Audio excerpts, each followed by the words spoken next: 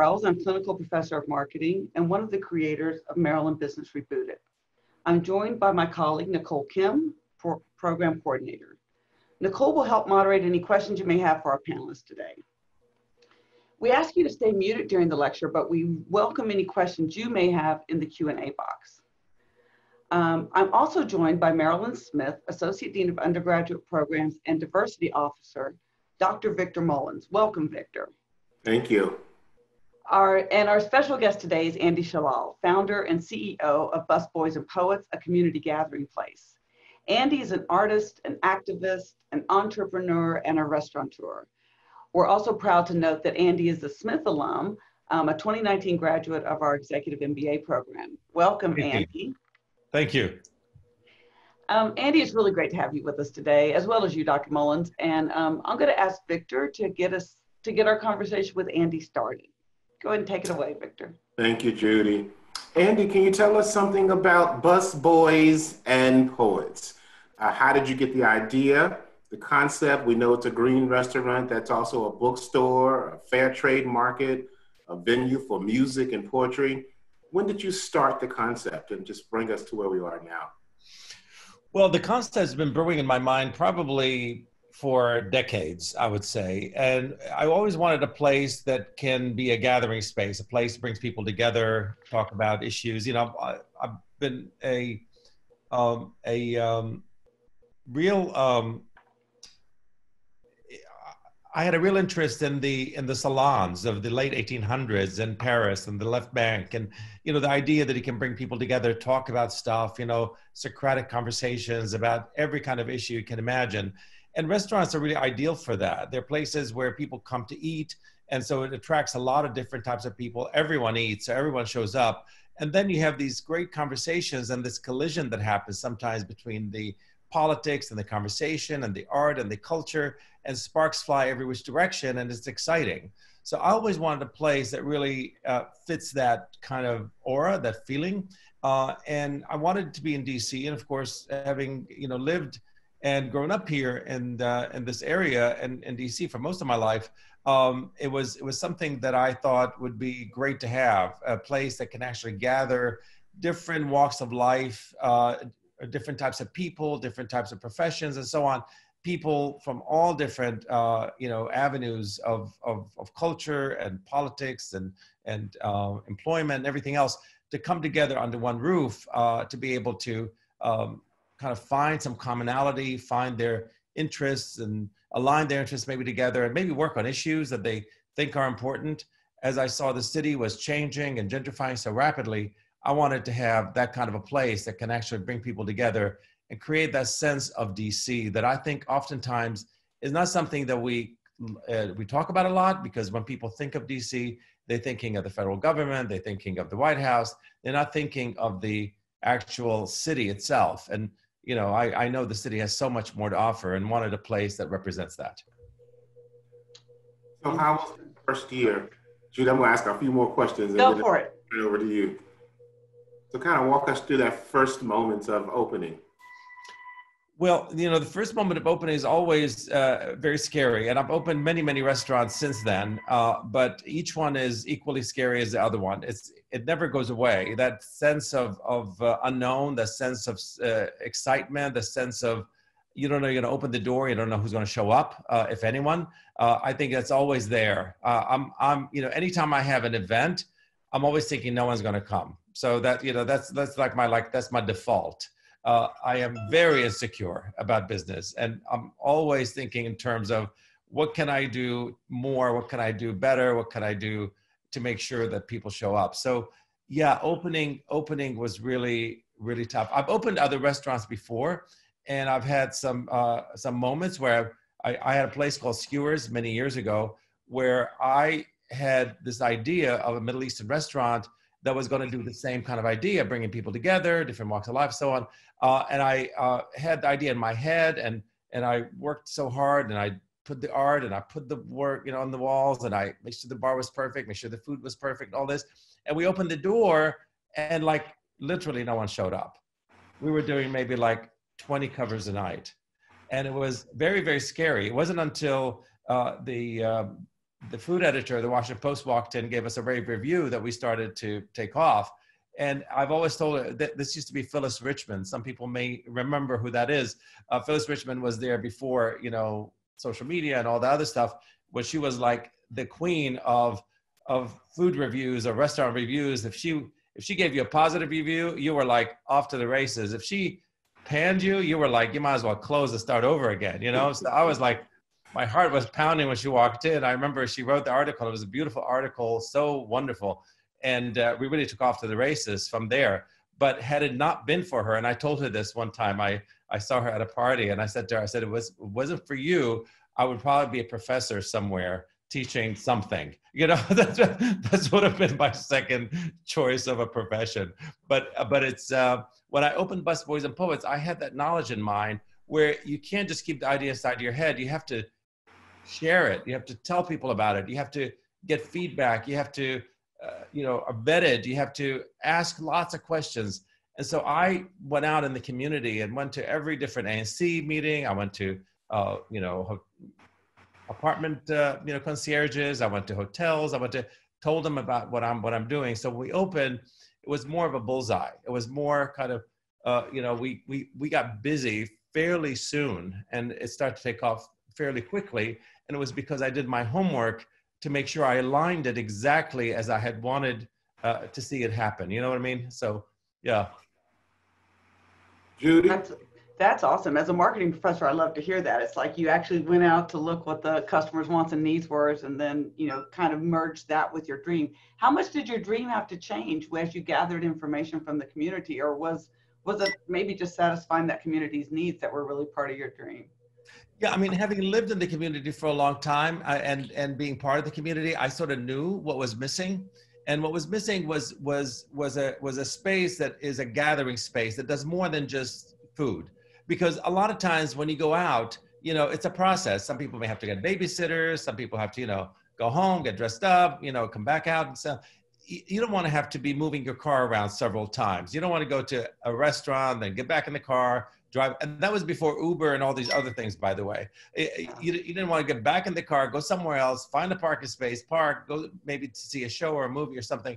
I wanted a place that has a little bit of all that. So, like during the week, when it's not like you know you're you're seeing a major production in theater or or something like that you just want some entertainment some kind of sense of community some kind of you know something or another maybe some poetry maybe a little music maybe a book reading or something like that wouldn't it be nice to combine all those things in one space where you can sit there and have a nice glass of wine and listen to an author talking about a wonderful book i mean that's a night right uh, yeah. it was interesting because we were actually voted one of the best place for first date because I found out the reason why is because you can actually meet somebody there that you haven't met before. Maybe you met them online or something.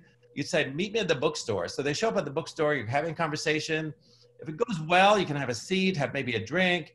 If it goes better, you maybe can order dinner. If it goes better, maybe you can go see a show inside inside the theater space that we have in the back. So it kind of has multiple layers, or you can just end the conversation at the bookstore without having to commit you know, if you're going to meet them like at Morton's or Clyde's or something like that, you basically committed to dinner, you know, yeah. and you basically stuck with that person for an hour, maybe more, uh, and uh, not wanting to be there. So this actually made it much, much nicer for people to sort of get to meet one another.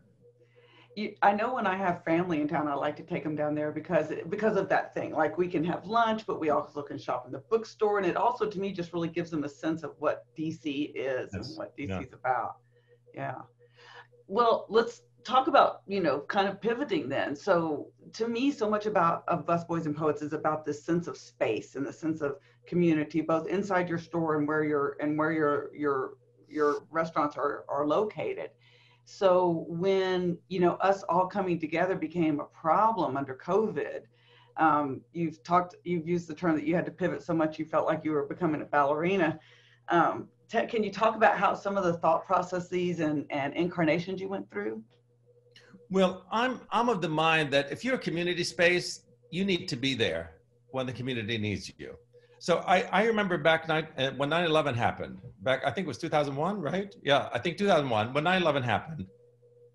Um, I was in I was taking a class somewhere in downtown DC, and then the class was dismissed and we went out in the street and it was about 9.30 in the morning and everybody was walking around in daze and i had two restaurants at that time i had a place called mimi's uh, which was a community space as well and a place called luna grill and diner and they were not far from one another and i remember walking to luna grill and i saw you know lots of people inside and the manager there was saying what are we going to do what are we going to do i said we're going to stay open we're going to provide free food and free drink to everybody that walks in the door because that's what we do so he says, really? That's what I said. Yeah. I said, you know, people are going home and, you know, I, I noticed there was a Starbucks next door. The, the minute it happened, there was a sign on the door saying closed. Uh, every other place was going close, close, close. And we were like the only place. So people were lining up, but we had a radio on and we put the radio on for people to listen.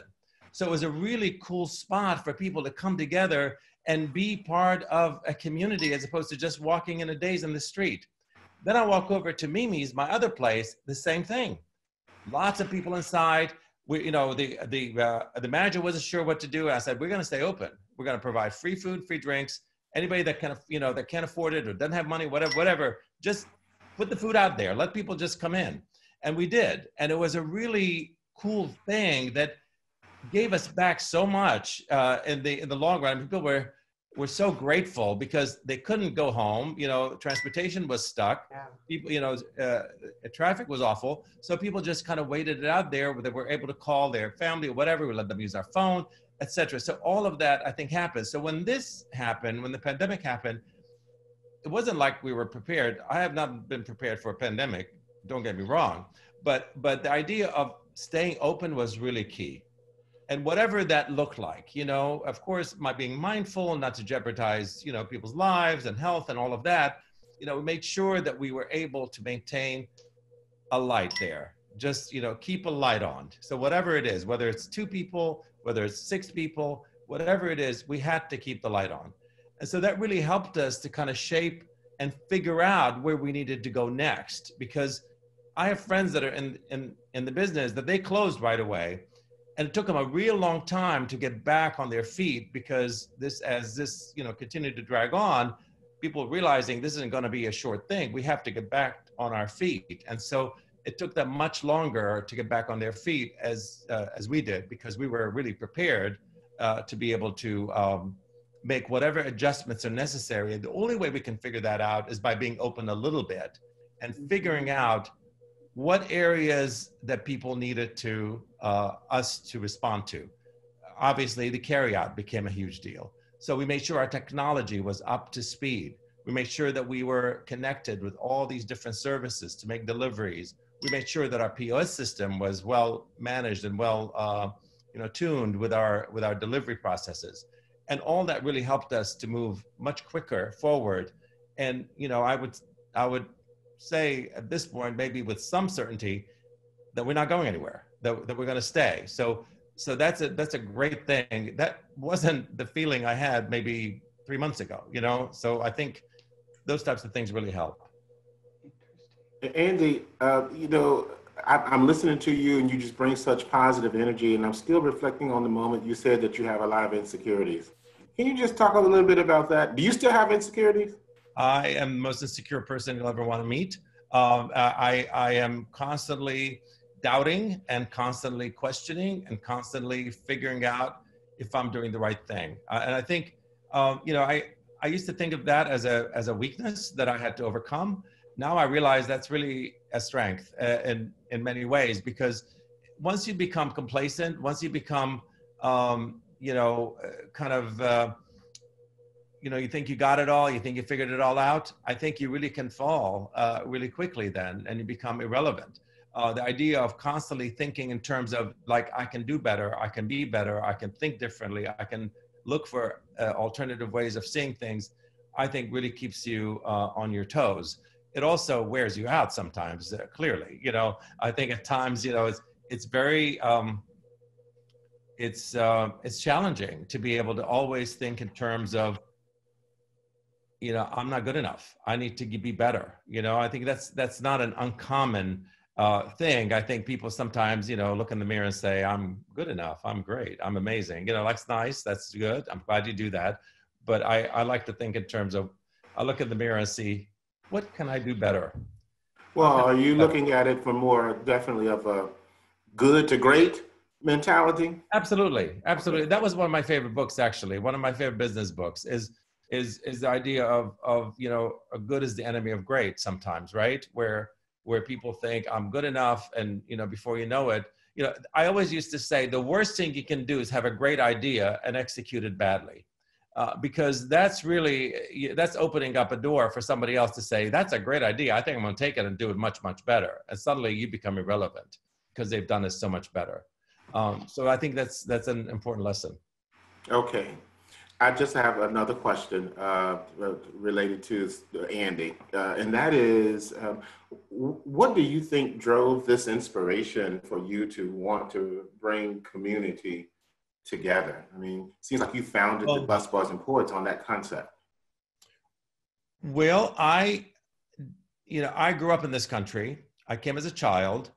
I did not belong. I was different uh, than the other kids, you know, racially, ethnically, everything else. I was different. Uh, you know, and when we came in this country back in the late 60s, um, I was just starting to begin middle school. Um, and I was, I was actually, when I started middle school, I was 10. Uh, and, and it was because, because of the school system they had and anyway uh, so so being really young and being in a, in a in a school that's different and and feeling very different and not knowing where you fit in because this country is very racial uh, as we know uh, so you're you know especially in school you know you have the white kids sit at one table and you have the black kids sit at another table and then there's the other kids who don't know where to sit uh, and end up really kind of feeling the sense of um, uh, not belonging, you know, the sense of otherness. And I always wanted to create a space where people can feel like they belong no matter who they are.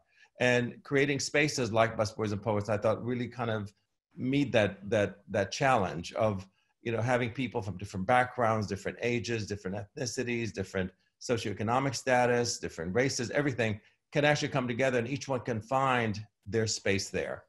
Uh, we do that through the books we do, through the art we have on the wall, through the staff we hire, everyone should feel like when they walk in the door that they have themselves there. They see themselves somewhere in there. So that was kind of the inspiration for me, really wanting to find a place that I personally can feel very comfortable walking into, uh, because I knew there are many people like myself who want to have those types of spaces. That's actually a really good uh, a thought. You know, I, I, grew up in a household, this is a small house, and my mom, who passed away a couple years ago, she opened her house up. Uh, I was, I'm, I'm, one of six people, and I, I, was thinking, boy, every time I turn around, I see a stranger in my house. Um, and and her thought was, if you build uh, this environment where people are always in tune to coming and getting inspiration, it comes back on you full full. Now she wasn't doing it on that purpose, but it seems mm-hmm. like you continue to be blessed because you are a blessing for others. That's that's, my true. thought when I was. It is true. I'm I'm surrounded by the coolest people ever. Uh, you know, I I love what I do, uh, and uh, yes, I think people really appreciate it, and it's it's just wonderful to be able to like exactly like you said when you open it up, it comes back to you in so many ways. Judy. Yeah, so we have a question from the audience, um, from one of our participants. Audience probably isn't the right word. Um, goodness, Ihek Wemi, I'm, I'm sorry, Ihek Wemi, excuse me, pronunciation. Um, ask, how do you stay motivated, Andy? Uh, you know, it's it's the small battles sometimes that really keep you going. Uh, I, you know, sometimes you know people look at the big picture and they think, oh my God, you know, something is so overwhelming. I mean, if you really think about the pandemic, you know uh, six months ago and thinking like, you know, here it is, really the world just stopped. And uh, in business, you can't stop and you've got rent to pay and you've got payroll to make and you have, you know, all these obligations that you have to take care of. And, and suddenly, you know, everything just comes to a, a dead halt. Um, you know, you start looking for small battles and, and winning them. And I think the, you know, you focus on the, on, on the little stuff, you know, uh, that's really what keeps you motivated is I, I have, exciting things that happen almost every single day that keep me going for the entire day. You know what I mean? Like, so always have one thing that I know is going to be like the coolest thing I'm going to do that day.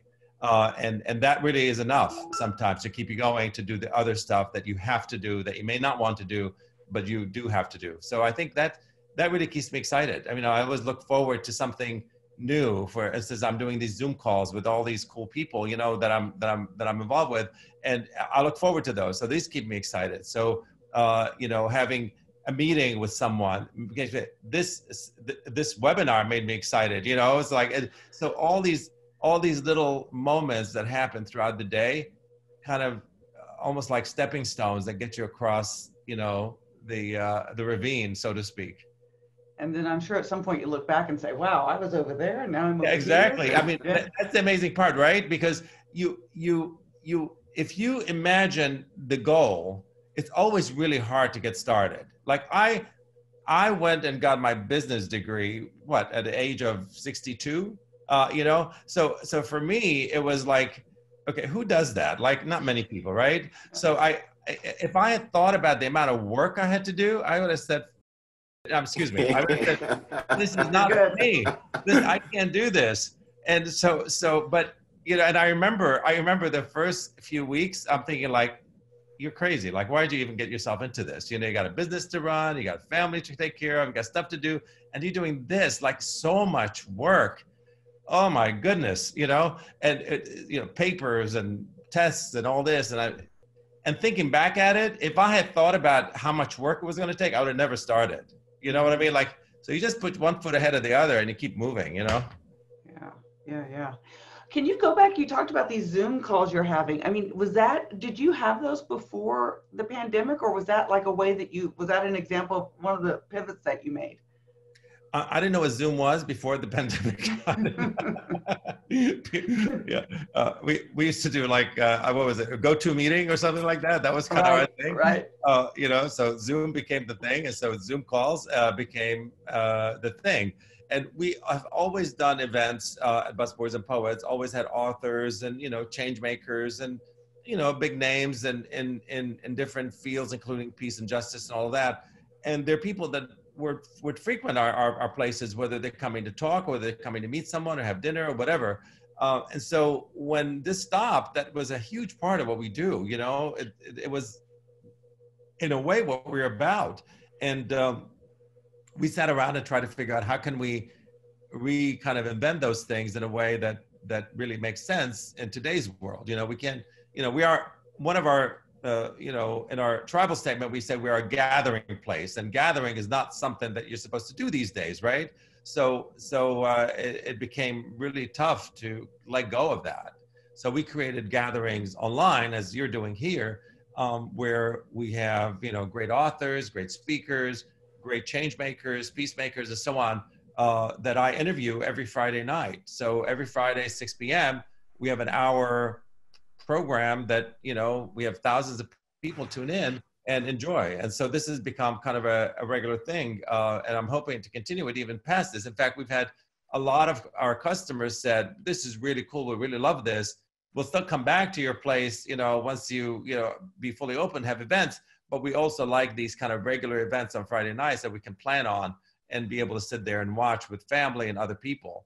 So it's kind of cool. So we that's that become a thing for us uh, now. Andy, I know we have another question, but um, could you talk a bit about that gathering space, uh, the people that you have talked to? Because I know that that tells that tells a lot about the times in which we're living, and to bring people in to give insight in terms of the season.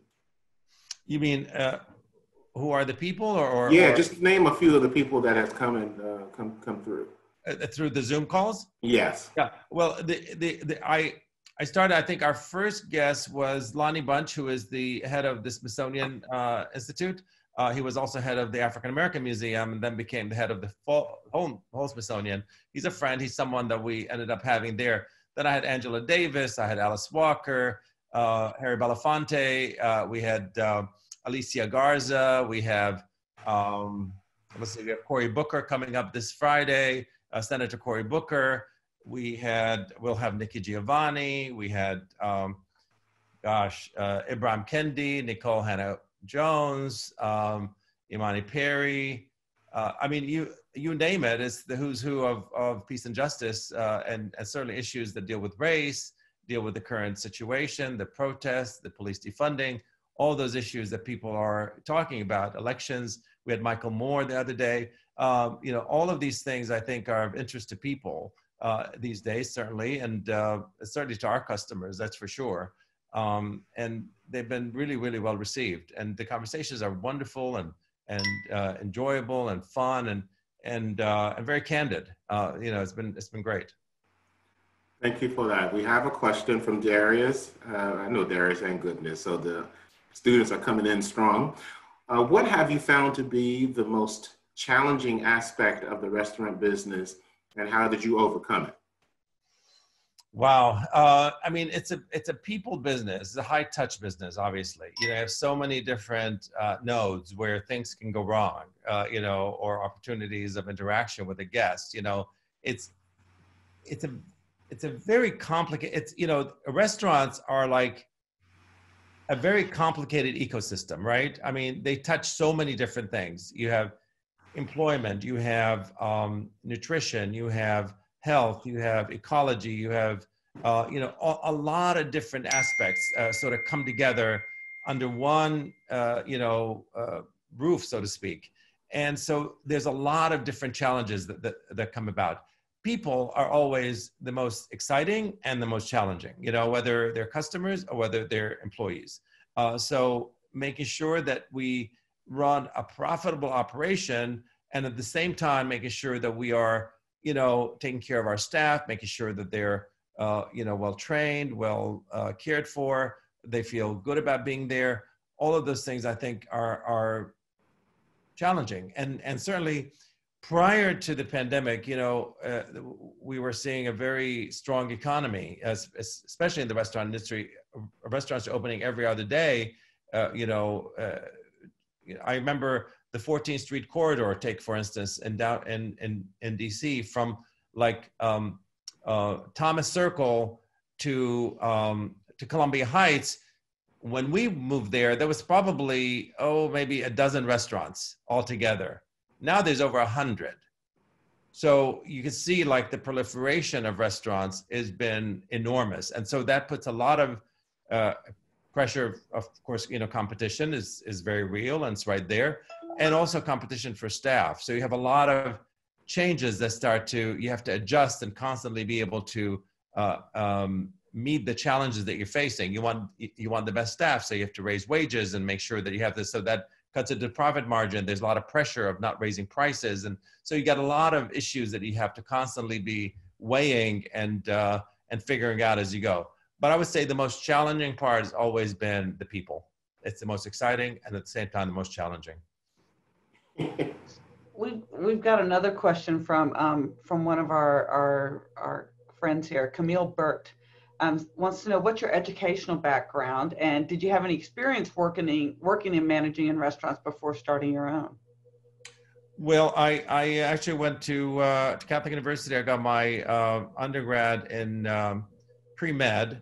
I started um, medical school at Howard University for uh, one semester and decided I really didn't want to do that. And uh, I was very young and it wasn't for me. And, and I was just in a, in a state of mind that wasn't really conducive to sitting down and hunkering down and becoming a doctor. So I quit. I started waiting tables um, because that's what you do when you don't know what to do sometimes, right? So I started waiting tables and I loved it. I loved waiting tables. I loved serving. I loved uh, the whole environment of the restaurants was just exciting for me.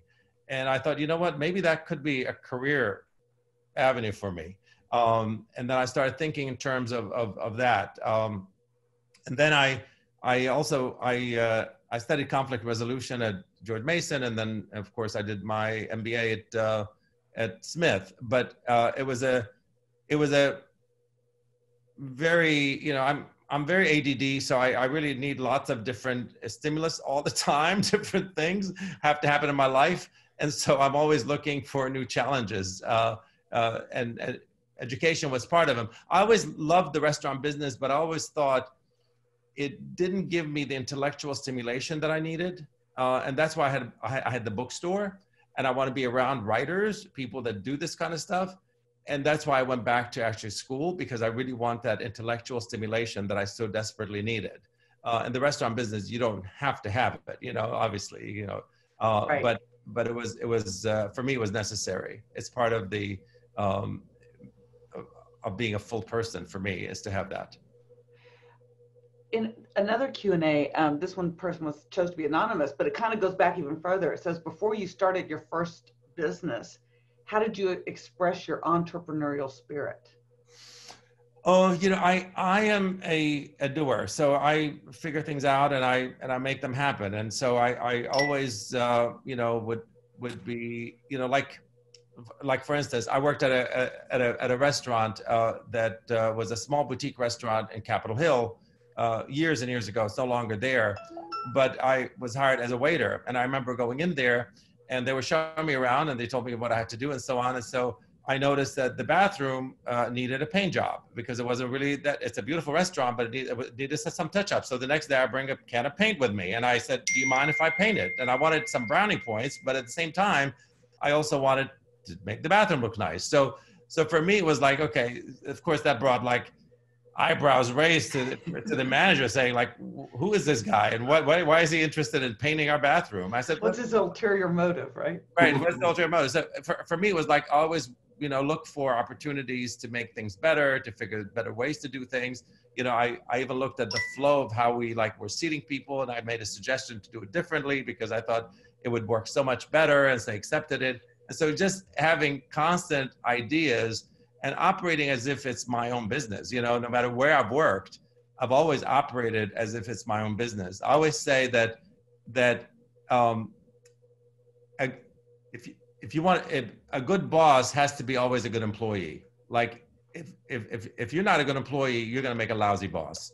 Uh, that's my, my, opinion. You know i don't know if that's true or not but certainly from my I, I subscribe to that. I believe that. Yeah yeah well we got questions coming in and i love this energy that's coming in so let's continue um, hi Sade, by the way uh, with the increase in competition along the years and continuous pivot what have you re- what have you remained true to over the years?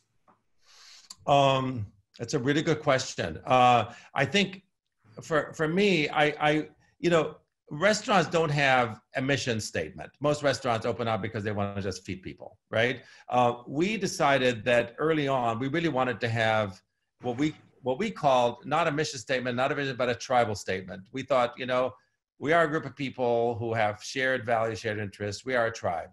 And so we we decided to create a tribal statement. Our tribal statement really kind of gives us a sort of north star, the constant focus of where we want to be. So whenever an issue comes up or something like that, we always refer back to that. Uh, so we are a place where racial and cultural connections are consciously uplifted. We talk about that all the time. What does that mean? What does that look like? How does it? How do we incorporate it into everything we do? Uh, we are a place where art, culture, and politics intentionally collide. We talked about that. You know, how do you create that kind of collision, uh, an opportunity for interaction for those things to come together? Uh, we are a place to take a deliberate pause. Uh, you know, we want people to come and linger. We don't rush them. We don't make them leave. You know, sometimes people come and have one cup of coffee and stay for hours writing the next great American novel or whatever they write. You know, uh, that's really cool also. Uh, and we believe by creating spaces like this, you can actually begin to uh, create a transformation in your in your neighborhood, in your community, in your city, in your world. I mean, I think that's how I that's how I've always uh, seen it as that's my focus. And race has always been really at the forefront for everything that I do uh, because I know race is such a significant part of American culture. I noticed that from the minute that our plane landed into this country. Uh, and I've noticed it every single time. And I've always said that the in order for this country to move forward, race has to be at the forefront uh, of, of, a, of, of, of, a conversation, at least, and certainly uh, finding solutions to come forward on that issue of race and not keep sweeping it under the carpet. So when we first opened, we started a, uh, a conversation on race that still continues till today um, online. Um, so this conversation is talking about race and how does race impact us so that's always been kind of my focus as well really when i um, you know operate the people we hire the way we operate all that has uh, has a very strong racial component uh, attached to it. You know uh, and i'm going to move to another question that i was going to ask later on but you're touching on it and it's important at the essence of race. You know, with uh, the season of George Floyd and all of these things that are happening, um, thanks to Michelle and, and Judy, we uh, organized a, panel with Black business owners uh, just to talk about their pain points and um, you know what's going on basically as being Black, but also during the season of the pandemic. Can you talk a little bit about, um, as an immigrant from Iraq, what are some problems that you have experienced or seen to occur for ethnic restaurants in DC and Maryland? Oh, you know, uh, I'm I've been in this country for a real long time. So so for me, I mean, I I, I am an immigrant, absolutely. Um, I have a, a, real uh, interest in making sure that immigrants uh, get their fair share of what's going on in this country because they are part of the very fabric of what America is about. Um, so when uh, we early on, when when this president uh, took over, he was disparaging many immigrants and talking really really badly about about many many different communities. And uh, we did um, we did something called a day without immigrants, where we closed all of our restaurants for one day, uh, and um, and just to kind of show people like uh, if you don't have folks who are immigrants who are here in this country trying to you know just eke out a living uh, you this country is is not what what it's supposed to be you know? Uh, and so we when we closed it was it was a, a, a, moment to reflect a moment to have a conversation about the issue a moment to highlight the significance and the contribution of immigrants especially in my industry in the restaurant industry for sure. Uh, and so that was that was kind of a, a, a big thing for us. Um, we we do lots of programming and events around these issues as well. Um, so I mean, it's a it's a constant it's a constant it's a constant struggle, and I think one of the best things we could do uh, right now for immigrants to go out and vote and get this person out of the White House. I think that would be a really useful um, approach. So we're we're working a lot on election uh, on uh, on the election. And you hesitated. I I what I hesitated. No, I, I, yeah, exactly. I tried to use uh, words that are that you are did not, well that are not going to be bleeped. Uh, but but uh, yeah, so so we're we're working on on uh, on sort of motivating people to go out and vote. We'll be doing a lot of uh, debate watches, uh, lots of conversations around the issues. really, kind of get people to focus on um, on getting out there and making sure that they are heard. Because I don't know, another four years of this, I'm not sure where we'll be, but but that's my opinion. I'm sure there are people on this call who may be thinking otherwise. We have we have a couple of questions, but I just have one more question. Then I'm gonna ask. We'll we'll um, get the students' questions then. Um, and uh, by the way, I, I, I always thought, you know, I, I think I don't know whether they teach you this in business school or not, but they always say like leave politics out of whatever you do. I don't believe that in one bit. So for me, it's like politics are really, really important. They're part of our life. And if we pretend like uh, that we're not living in a political world, then we're just kind of either lying or fooling ourselves. So for me, I um, I feel like it's important as a you business person, as um, a business person, to. to make your voice uh, clear and let people know where you stand, um, and and let the chips fall where they may. It it sets the frame for everything it, that we sure do. Does. It does. In fact, uh, we had a diversity session not too long ago, and uh, the new trend for diversity uh, momentum building is actually bringing politics into the workplace, and you actually have to respect people's thoughts and opinions. And so, and I'm glad that does exist because you're bringing the fullness of who you are. Well, yeah, I, the the new generation, uh, you know, the millennials especially, they have their opinions. They wear them on their sleeve. They're they're like they'll tell you exactly what they think. You know, so so it's it's really important uh, for people to even feel okay about being in, in a space to have to bring out those issues. It makes people feel like they're fully human. They can bring their full selves there. I i, I remember you know the, the thing with with tattoos. I'm of the generation that if you had a tattoo you're supposed to cover it up and not show it you know like when you're in in in, in the workplace. Um, and so i remember having a, a session where I do like an orientation sometimes with our staff. And there was this one guy who was applying to be a manager. It was summer, and he's wearing like a long sleeve shirt. And I knew what the, what that's all about. I actually love tattoos. Uh, so I, I said uh, I said to him in the conversation, I said, "Can you roll up your sleeve?" And he was like, like, "Oh." You know, I got caught. I said, no, I want to really see your tattoo. I'm sure it's beautiful. Like, you know, so he rolled up his sleeves and, and he was so proud to explain to me everything that was on it. And ever since he was wearing short sleeves the entire time. And every time I saw him, I was like so excited to like know that he can actually show his tattoo in a workplace. It was like, wow, uh, you know, things are changing and I'm glad, you know. yeah, and I, and I bet you he served your, the customers even with a bigger smile.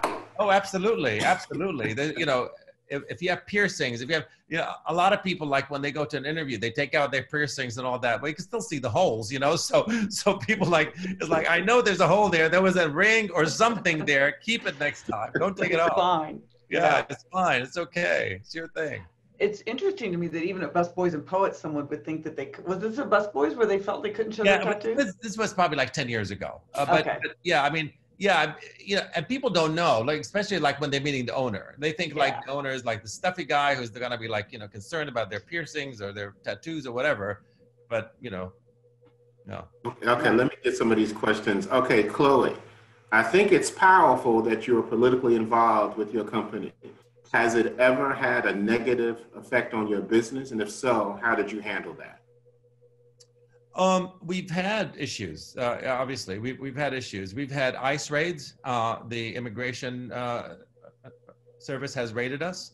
Um, uh, not not in a you know in a way where they had like trucks and people taking you know being hauled away, but they've, we've been like you know targeted. Um, so that's been an issue at some level. Uh, we've had uh, we've had customers come in and say, "I will never come back to your place because of the politics." Uh, they didn't realize that it was a political space, and therefore they say, "I just want to come and eat dinner." Like, what the hell? Why are you like? What is it like? Uh, you know, shoving this in my face. You know, uh, sometimes we'll show things on on on video, or we may have some art there that might you know represent a certain something or another that may offend somebody. So you know, I I try to engage them at some level, but you know, I also stay true to what we're doing. And if you know, um, I mean, we're look, we're fortunate we live in a community that is very, for the most part, progressive. Uh, you know, uh, we don't have a lot of people that come in and say, "Oh, why do you have a picture of you know Martin Luther King on the wall?" Like we don't like him. You know, like we don't have that uh, so much here uh, in this area. Um, and I and I suspect that let's say if I had a place in I don't know some conservative town somewhere, I- wouldn't. I, first of all, I, w- I wouldn't do it. Like you know, so it's not like trying to change people as so much as it is trying to just plant your flag. That's all it is. It's it's really not about like I think there's a lot of subtle messages that we can send out to people that are like who may not be political, who may be open to ideas. I think that's really great. You know, sometimes people do come in there and learn something and walk away, you know, different. Um, that's that's wonderful. But if, if you know a true, you know, Trump supporter is not going to love our place in a in a, in a in a in a sense. Although, I have a I have a short story that I want to tell you. So Mhm. around the inauguration, uh, during the inauguration of this president, um, there were three guys that walked in uh, that uh, had uh, the MAGA hats, Make America Great uh, Again hats. They happened to be in town for the inauguration, and they were just looking for a restaurant. They saw the first, you know, place I guess they ran into. and They decided to- to walk in. And when they walked in, it took them. You could see it because we watched this on video afterwards. You could see them like pausing and kind of looking around, thinking like, where are we here? You know, because the art, the people, and so on is a little different than what they're probably expecting. And so they took their hats off and put it under their arms. It was really funny. And then they got seated, uh, you know, and a black waitress uh, uh, was was helping them, was uh, was serving them, and she was really nice and wonderful to them. And they started, you know, you could see they got more animated and engaged with her, and they were like having exchange. And um, at the end, at the end, you know, they had really wonderful service. They they left a note saying, uh, despite the fact that we may have different politics or different ethnic, you know, uh, racial backgrounds or whatever, uh, we can all come together and be Americans. Thank you for making us feel so comfortable. And uh, they left her a $450 tip. What? Yes, on a on a on a seventy dollar check, and uh, and and so we tweeted it out, and of course the press was looking for stories that were uplifting at that time. They still are. Uh, they they they were looking for it, and so we, we got contacted by lots of press, and people were interviewing this young woman. Uh, her name is Rosalind, and she was she was being interviewed all the time by these like newspapers and magazines and New York Times and TVs and all this. Like it was a huge story. And uh, the New York Times said, "Well, how do we know you, this isn't bogus? Like you didn't like make this up to get publicity?" I said, "Well, that's not what we do, but but they, they, they, so they they took it. They hired an investigator to find out who actually was the person. Uh, you know, if they had put as much effort in the war in Iraq, we probably right. would have gone there. But anyway, uh, so so they so they hired somebody. They found the guy because we don't have his name and we only have the last four numbers of the credit card. You know, so it's like really hard to find out where where that person is. Um, and so so they they uh, they tracked him down somewhere in Texas. He's a, a dentist in Texas, and they did a Zoom. Uh, uh, a go-to meeting, I guess that whatever it was. Uh, they did it like a like a conversation. Skype. It was a Skype meeting. They did a Skype meeting with him, and you can see you can still actually look it up. You can find it on on on YouTube, I think. But he was like in tears, talking about the amount of love and care that he received, and how it was so incredible for him. And it was like it was a little bit mind blowing, frankly. That it's, it's it's probably the first black woman he's ever encountered at such a close range, you know. Uh, and and so for him, it was like a shock because all he knows is what he sees maybe on Fox News or whatever else he gets his news from that don't always, you know, provide a more fair assessment of what people are. And so I think it was really funny and very telling how how these moments of interacting with one another have such a transformative impact on people sometimes. And we tend to not put as much um, credence in those moments. But I think it's there, there, there's something there about spaces that bring people together that have unintended, uh, you know, sometimes, you know, unintended consequences. Unintended consequences sometimes, uh, you know, where people unexpectedly find moments of that liminal space that brings them together in a, in a, in a different way. Well, that's, uh, boy, I, I think that would have been uh, a, a moment of, wow, this is why I founded this entire thing altogether. Yeah, absolutely. Absolutely. It was a real moment. I, I agree with you. Judy, do we have questions? Yeah, we do actually. This one is somewhat um, actually tied to the story you just told. Um, it's from Andrew Yannick. He says he's a veteran of the hospitality industry himself and he, he is talking about the importance of organizational culture and day-to-day operation and that to me ties to the fact that this woman gave those customers such care and such attention right yeah. and so he says what do you do to get your teams and managers to buy into your culture and is there anything that you do to continue to keep your associates engaged well that's that's an excellent question as well i think one thing that i've done that i really kind of take pride in and I, I haven't done it uh, as much now during this pandemic because we've been kind of going through lots of transitions at this moment.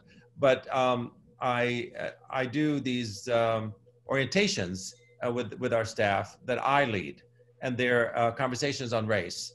And um, you know, it's um, uh, everybody that gets hired for the front of the house, especially uh, for the front of the house, gets to attend these meetings. And so uh, they're asked, uh, you know, by their managers to show up at a certain time to meet the owner, talk about an orientation, and most of the time they have no idea what they're there for. They think well, I'm going to just tell them about how, uh, you know, to serve uh, coffee or do whatever you know they're supposed to do, but we end up having this very deep,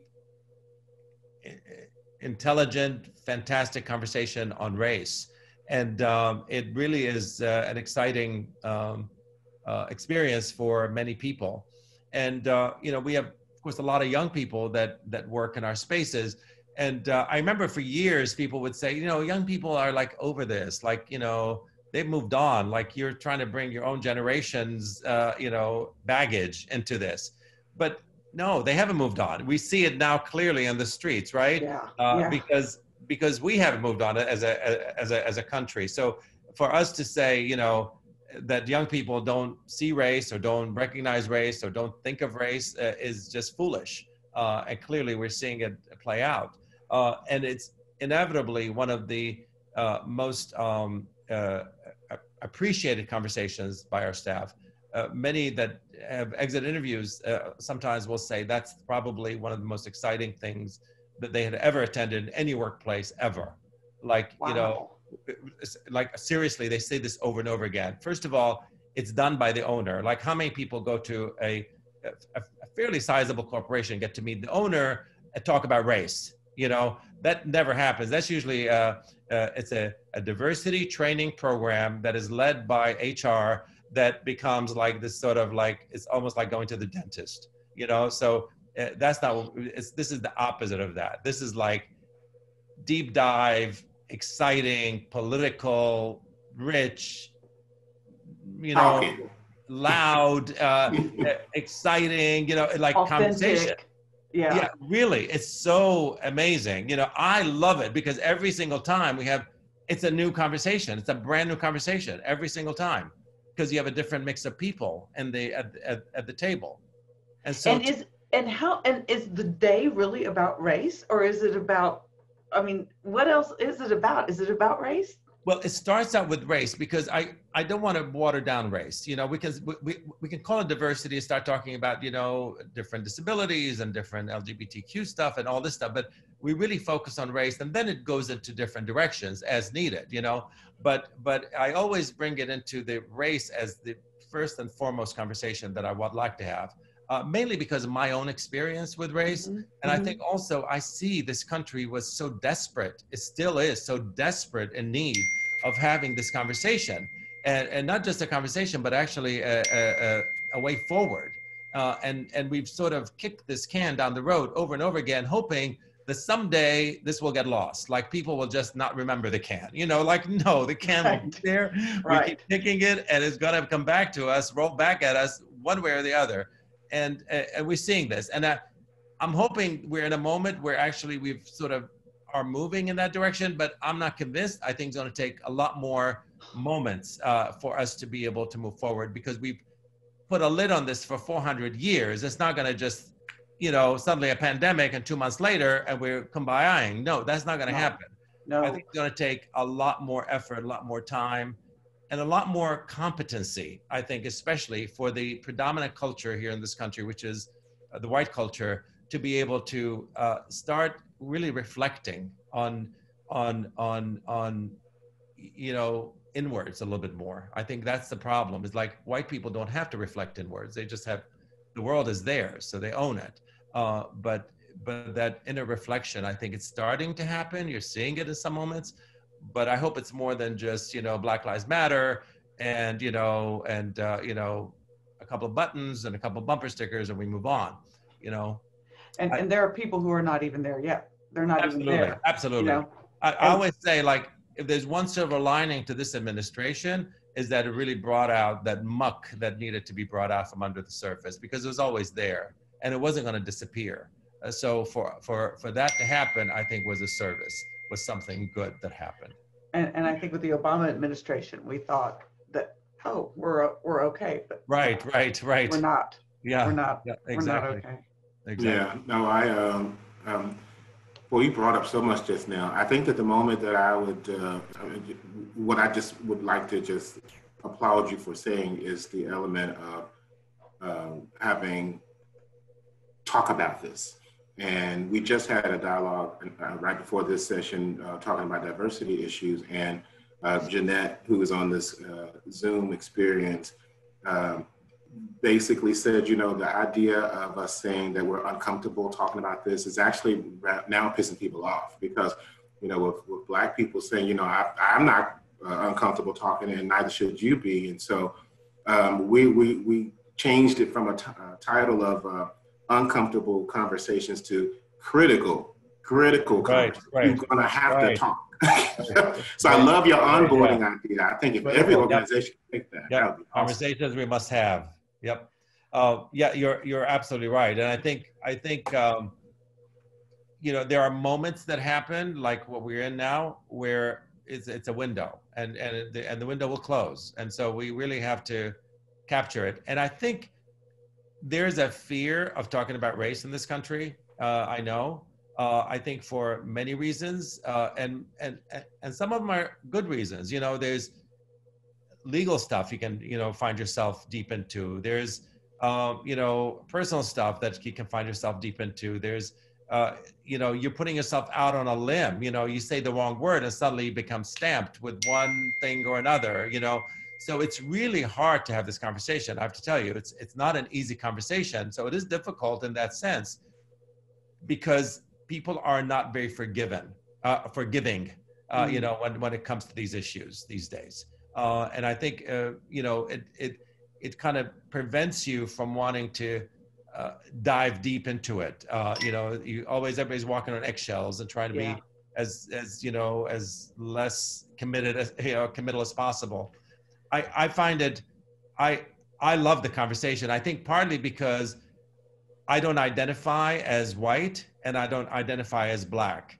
So it gives me that sort of like kind of perch that I can say what I want, express myself in a, in a, in a way, and it it's sincere and it comes across that way, and it's and it for whatever reason I have not gotten in trouble, and I've been doing this for like 15 years, like constantly, every single two weeks, you know. So we've done hundreds of these, um, and uh, you know I've I've had one walkout, but that's about it, you know. But but that's all, you know you know, I, I also think that first of all, I was going to say to Victor's point, we, we need to get over the that being uncomfortable is a problem, right?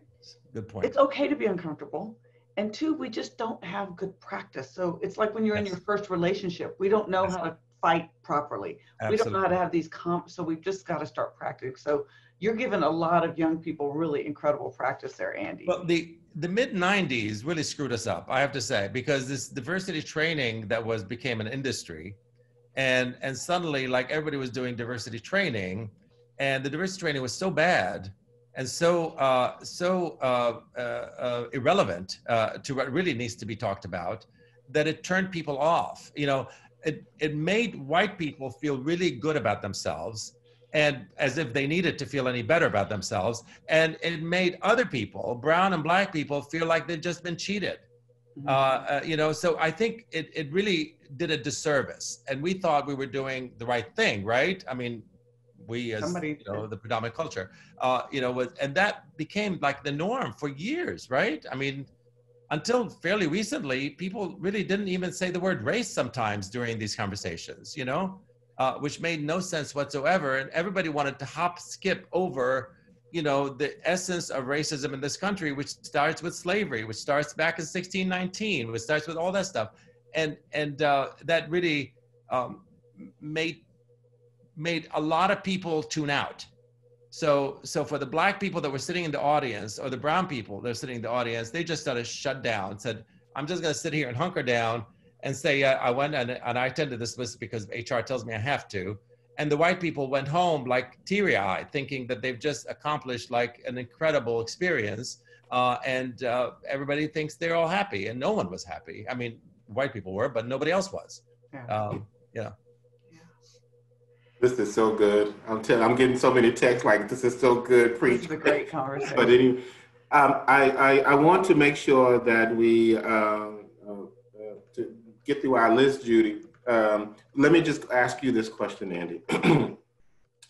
um, what are some of the recommendations, maybe do's and don'ts, that you would give entrepreneurs and small business owners uh, that are trying to make their business survive during this uh, pandemic? Don't panic. I mean, I know that's that's a hard thing to tell people, right? It's like if you're drowning or if you if you if you get thrown in the water, the first thing they tell you is don't panic because the minute you panic, you're gone, right? So as someone who's been in business for a long time, I can assure you that this too shall pass. And sometimes when we're in the middle of something like this, we think the world has ended. And, and I know for some people, it's hard, it's hard to even imagine a different world. There are many ways of being able to um, sustain yourself between now and whenever this is over, uh, like over, over. Um, and I think there are, try to find as many ways possible. And I would say tap the, S, the Small Business Administration is one of the best resources that this country has if you think that government is useless, uh, uh, you know, just look at the SBA. uh, the Small Business Administration is an incredible, incredible resource. Uh, I got my first loan from the Small Business Administration. They've always been there whenever I've asked for anything. They're very, very helpful. Um, so I, I would say, you know, just focus on that and use this moment to like really kind of you know if you have a business been running for a long time always wanted to make some changes or make something some different but because you're running so fast you couldn't this is the moment to do it for us we really built our technology in a huge way knowing that that's going to be an important part of our business model right so we spend a lot of time and effort building our technology during this time. We have looked at efficiency. We have gotten so much more efficient in this in in in, in this time that, that we've been in that's been an incredible opportunity really to sort of hone in find areas that we thought we were you know that that that really didn't need to happen that we just kept building building building over time.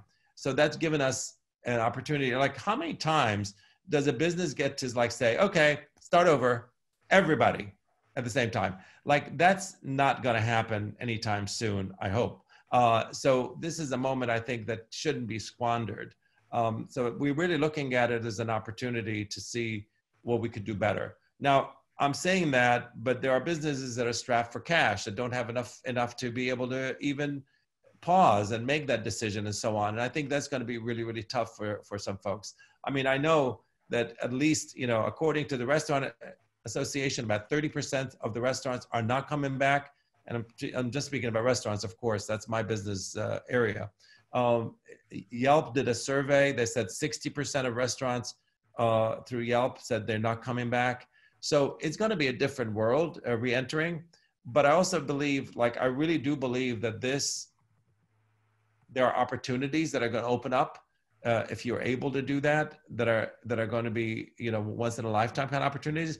We're going to be. Uh, I I just finished signing papers for Baltimore and for Columbia, Maryland. So in the midst of all this, you know, uh, I mean, people are saying like, well, this is not the time to talk. Now you have to negotiate really good leases because uh, landlords are motivated right now. Uh, for the first time, for the first time in what, 30 some odd years I've been in business, um, that I have the upper hand over my landlords. That's that, that, that, feels so good. But but yeah, because because landlords are you know obviously people go out of, of business. They can't do anything about it. There's bankruptcies. There's all kinds of stuff. They're they're going to be mired in in, uh, in legal stuff for a long time. So they want to be able to cut deals and get it over with and move on. And so that's been that's been a great opportunity also to be able to renegotiate uh, with with landlords. Like, you know, do you want me to go out of business, or would you like to strike a better deal? And most of the time, they probably want to strike a better deal. So there's opportunities there as well. Andy, uh, Janice says yes to Columbia, Maryland. I am waiting for you. is, is that Janice from my cohort? I don't think so. It's Janice Walker no, Imiogo. Okay. I don't think, no, not Janice Green. If you're thinking Janice Green, no, yeah, not Janice yeah. Green. Yeah. Um, yeah, so uh, somebody actually just posted um, something from the Maryland Small Business Development Co- Corporation. Did you interact with them? As I think they're part of um, or funded by S- SBA. Yeah, I did. I did. Yeah, they're they're actually not far from University of Maryland campus. Right. yeah, they're they're great. They're really really good. They're part of SBA. Yep. We are so glad to hear that because we actually, just so folks know, um, SBDC, they're called mm-hmm. Small Business yeah. Development Corporation. They offer a lot of free consulting. Absolutely. So they will come to your company. They will Absolutely. Help Absolutely. you, give you a lot of consulting, and they've been partnering with us on this webinar series. Absolutely. So we've They're been really good. glad to have them. They're very good. Yep. Good. I'm glad to hear that because we have um, we've been really happy with being uh, having the opportunity to work with them. Yeah. Um, they're very good. Um, that's awesome.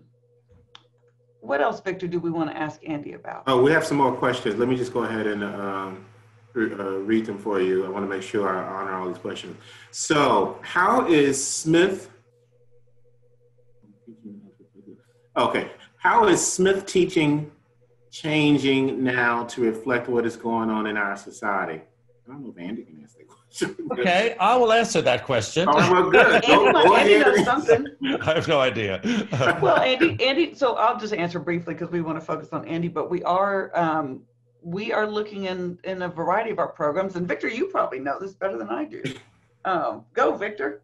Well, I thought he was asking uh, Andy.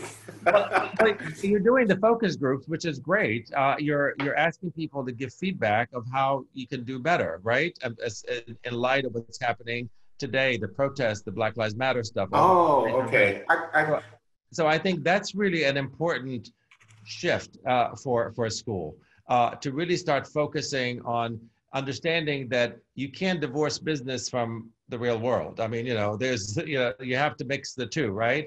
And uh, you know, focusing on race and how it impacts business, how it impacts your your your decision making, how you know uh, all of those things I think are really important, and I think that's you know kudos to the to the school for for for bringing people together to even consider having that kind of conversation. You know, I uh, I'm very happy. I just got confused. Like, why are they asking Andy that question? But uh, but I'm very happy to answer. Uh, you know, there are there are a lot of things going on even before the pandemic. You know, Smith teaches how to. We teach about it, and now we're going to have to live what we've been teaching, which is the managing complexity and chaos, which is where we are right now. Because just learning formulas uh, and principles is just not enough in this day and time. You got to think critically. You got to analyze. You got to understand what pivoting is. And you got to come up with things that you've never come up with before. And so I think that Smith has done a good job in teaching it. Now we're telling our students now live what we've taught you. I think with race and business, uh, we have a way to go. We actually are in conversations now in terms of um, it just makes no sense to have two parallel uh, learning moments uh, diversity and everyday learning. Uh, it has to jive together. And that's what Smith is actually doing now. Our undergraduate curriculum, we're starting from scratch. It's a good time for us to just look at how can we incorporate it from the moment a freshman walk into the door. Uh, so Smith is definitely moving in the right direction, but certainly we, along with all educational institutions and organizations, have some work to do. And I think also we we have and and and I, and I hope this doesn't come across uh, in in the wrong way. We have been led sometimes to believe that business has the answers to everything, and business is there to be business. Okay, there is of course some responsibilities that go along with that, but it should not. Uh, government should not abdicate its responsibilities and hand it over to business. And I think sometimes we try to teach that you know, if government messes up, like we can have business come and fix it. No, Yeah. you know, that's not, that's not, you know, a government is there for a purpose, you know, it's for the common good. Business is not there for the common good. Business is there to serve the customer that they want to serve.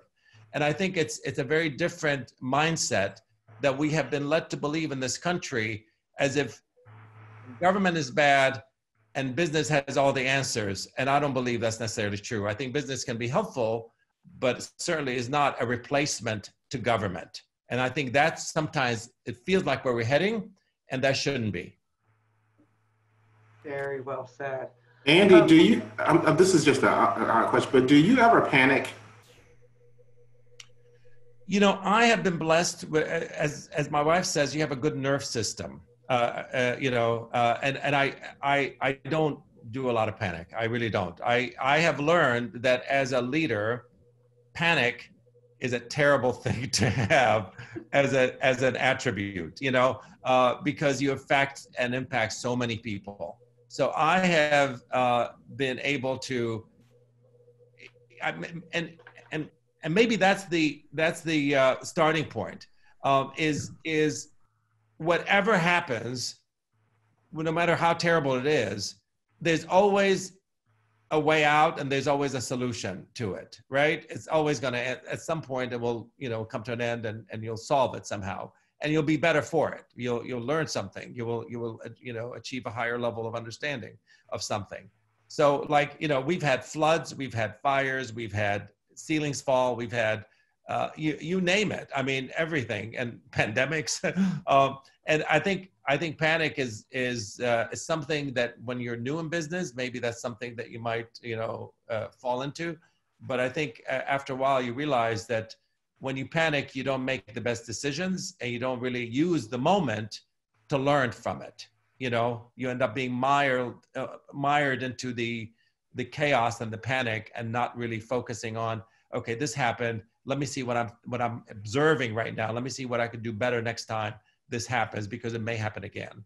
Uh, and that helps you to, to improve. So I know in a, in a, in a word, I, I, I don't panic.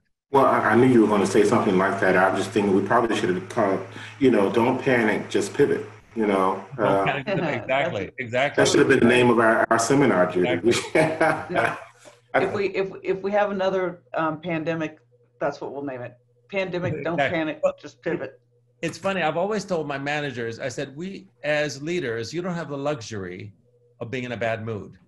You don't have the luxury to panic you know if you're if you're a dishwasher and you're a cook and you're in a bad mood you may affect the person standing next to you and that's about it but if you're a leader and you're leading a group of people if you are in a bad mood you affect everybody and so we don't have the luxury. That luxury is out the window the minute you chose to be a leader.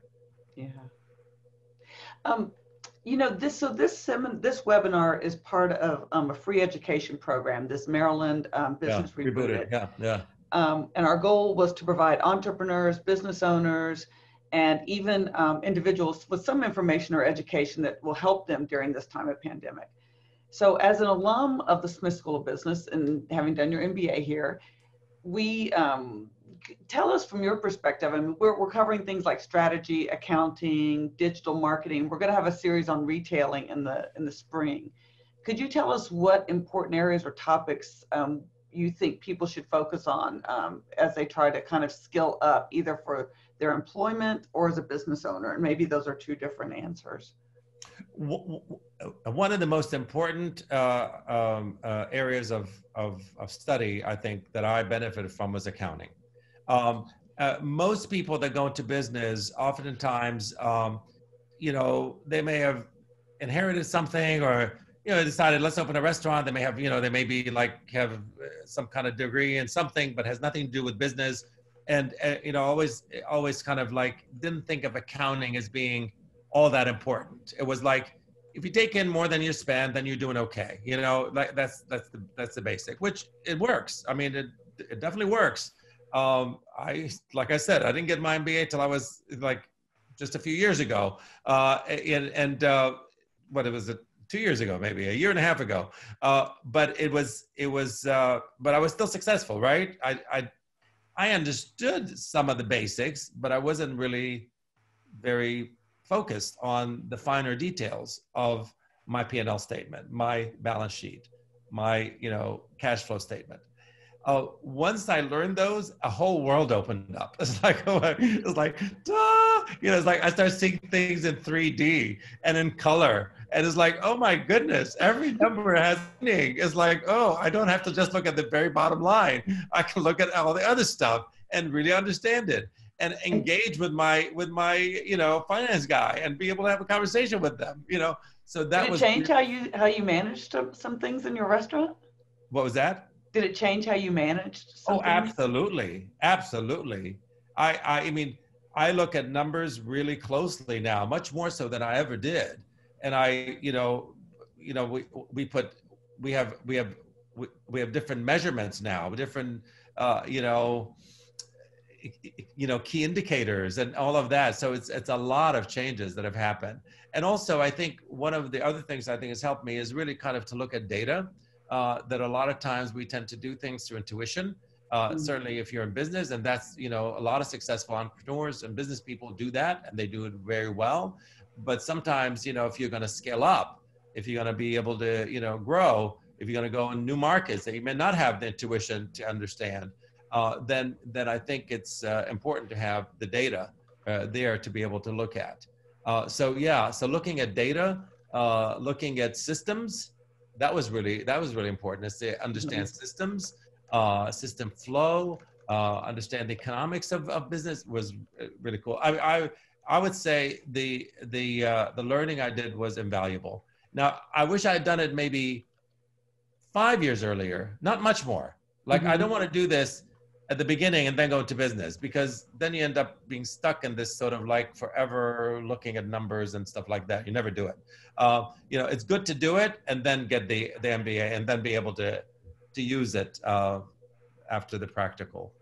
But you know, but after listening to your, your whole talk, it wasn't your time. It was, it was Andy's season to do it what Absolutely. At that time. Absolutely. Absolutely. Absolutely. Now, I, I, I have agree. one. I agree. I one final question for you, um, and this is just just reading up on you, and I just wanted you to respond. So, um, I love the fact that you founded the Peace Ball, and if you just talk a little bit about that, just I just love hearing that story. And then, but here's what I uh, read um, that in a program, uh, you helped me understand that he included in the evening's program a poem from the man who inspired the name of the restaurants, Langston Hughes, perhaps a response to the slogan trademarked by Donald Trump.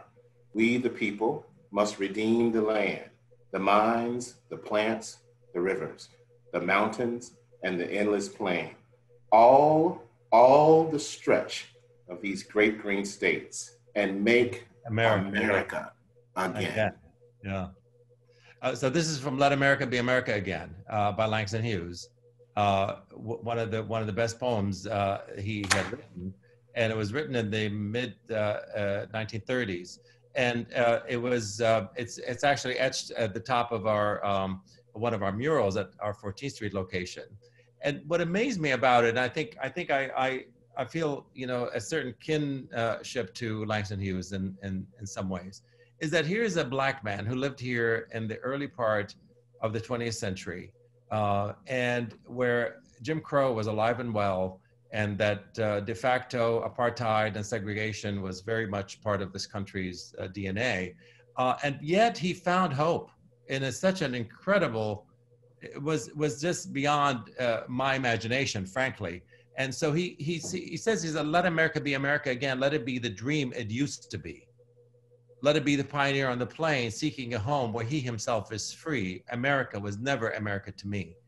Uh, let America be the dream, the dreamer's dream. Let it be the strong land of love where neither kings connive nor tyrants scheme, that no man be crushed by one above. So he, he spoke about an America that was like a fantasy, right? Uh, that he never experienced. And he kept saying, America was never America to me, but he saw the possibilities of America, you know? And as uh, Nikole Hannah Jones speaks, she says, black people in this country are really the ones that are ho- holding America to its ideals. Was black people that the 14th Amendment came about. And because of the 14th Amendment, you were able to have gay marriage. Like it, it's all interconnected in such a beautiful way, you know? Uh, so, so all of these things really created the America that was possible, the one that Langston Hughes speaks about and let America be America again. Absolutely um, the and and the peace ball. Uh, the peace ball came about when we had just opened recently, and uh, the Obama uh, campaign was actually heating up uh, at that time, and we started working on the Obama campaign, uh, and we spent a lot of time and effort and money, uh, raised tons of money, hundreds of thousands of dollars we raised through Busboys and Poets to for the campaign we took buses and went to Ohio and did this canvassing in Ohio and Virginia and other places.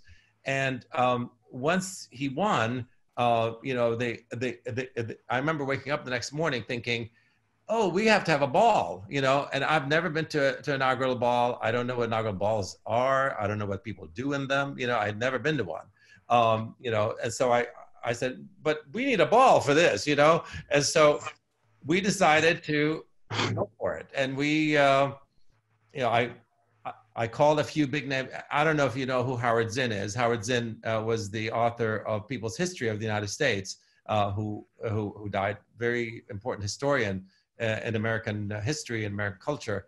And I called Howard and I said, Howard, uh, you know, I want you to be one of the co-hosts. And he said, okay, fine. You know, he said, but remember, Obama is a politician. You know, don't put all your hopes on him. And fine, but for now, I am going to. And then we we had uh, I called uh, Harry Belafonte, and Harry Belafonte I asked him to be also a co-host, and he said he'd love to do it. And so we had these two big titans, you know, at the top, and then we started bringing people in, and we had everybody. We had, you know, the Alice Walkers, and we had the Nikki Giovannis, and we had the we even had Jackson Browne, this the, the singer. We had Angelique Kidjo playing. We had uh, lots of really big, big names, and we rented a place, uh, the Postal Museum, over next to the uh, Union Station. We rented it, and we we you know we it, it holds about maybe like 900 people or so, and we thought, God, we're not going to fill up 900 people. That's a lot of people, and we sold out like within like hours, literally, and and and we ended up having to uh, you know, stretch ourselves uh, to allow more people in, and and uh, it was an incredible, incredible evening. And so from then on, we started doing inaugural balls at each four years. So we did one in 2013 when Obama was inaugurated the second time, and then we decided for this one, we weren't sure who was going to win. Right? Uh, it was Hillary or Trump, and we thought Hillary might win, Trump might win, whoever. Uh, but we had booked the African American Museum, which had just opened uh, that year. And we so we we booked the museum. I said, I don't know who's going to win, but we're going to do a ball, and it's going to be either a ball of remembrance of the great things that we've done and moving forward, or you know whatever. You know, so we so we decided to do that. And a lot of people didn't do it because the you know, people were so depressed after the election, a lot of folks that we associate with certainly. So there were not many opportunities. So we had everybody, like the who's who of everybody was there. We had over 4,000 people uh, at the Oh African American Museum. Uh, you know, the whole museum was open for people to browse through. It just new. It was hard, even hard to get a ticket to see the museum, let alone to come to the ball. And uh, we had food, we had drinks, we had performances, we had everybody. We had everybody Cher came, like you know, with like Wow. we had we had like we had uh, uh, the the the headliner was uh, Solange. Uh, we had uh, everybody, like you you name them, they were there. We had senators and congressmen and actors and movie stars and you name it. It was really really a cool night. It was a night to remember. And we were actually I was just getting ready to sign uh, the deal with the museum again to do it this coming uh, inauguration before the pandemic hit, and so we kind of everything went everything went on hold because I don't think the museums will be open uh, or or Not having for that, will a right? thing. Uh, you know this uh, this inauguration. We'll have to go back to celebrating in the street. That's where I think I was outside Busboys and Poets when Obama won the first time. Wasn't that an incredible night? Wow, That was an incredible night. that was yeah. memorable. Yeah. Well, so so we're going to be doing um, uh, the debate watch parties uh, inside the spaces, and you know, with uh, social distancing, you know, so so we're so we're going to be doing that uh, in all all of our spaces. Um, this Oh, that's good to know. September 29th is the first one. Wonderful. This has been awesome. Thank you so much for the honor of me just having this conversation with you. I've learned so much about you, and and uh, you've inspired me to keep doing what I do. Thank you for inviting me. I really appreciate it. Thank you, Judy. Thank Um, you, Victor. bef- before we say goodbye, I do want to say thank you, but I also want to share our upcoming um, webinars. Andy mentioned how important accounting was. We're having the last accounting webinar next Tuesday, but the old ones are posted on our website. So if you want to take Andy's advice and get your accounting skills up to snuff, that's an opportunity. Um, starting September 30th, we've got three webinars about um, marketing from a colleague of mine who really focuses on what businesses can do, very practical, very hands-on. And then a lot of the topics that Andy mentioned as essential are part of our MicroMasters classes on the edX platform. So I just wanted to share this so people can see the other resources we have available. Um, go to our website, look up SBDC, take advantage of their resources. They are here to help you. They got a big part of the CARES Act funding, and um, and they are there for you. Andy, a final thank you so much. You're such a contributor. You give so much back to us here at Smith, and we really appreciate Well, it. Well, I love this school. You've given me a lot. Thank you. Well, we're very happy to be here, and and and um, Victor, thank you as well. It's great to be able to co-host with you today. See you later. All right. Take care.